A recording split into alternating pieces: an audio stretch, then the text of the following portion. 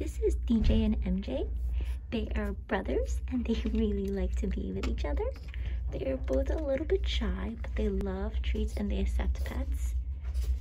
And they're slowly coming around, getting used to human attention or just strangers.